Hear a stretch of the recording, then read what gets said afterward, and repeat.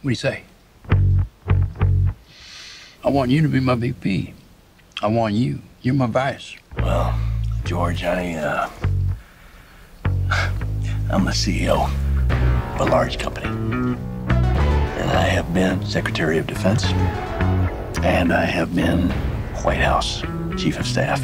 The Vice Presidency is a mostly symbolic job. Uh-huh. However, if we came to a uh,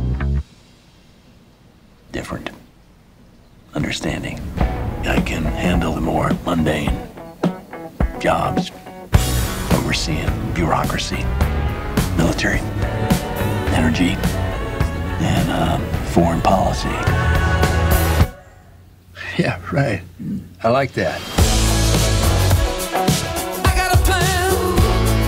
I know the direction, the lay of the land. When you have power, people will always try to take it from you, always.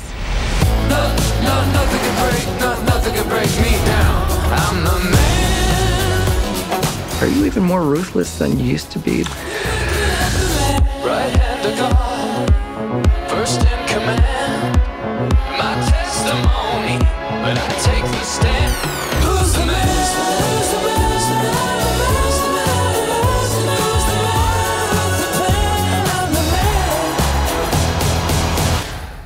So we gonna do this thing or what? I mean, is this happening? I believe we can make this work. Hot damn.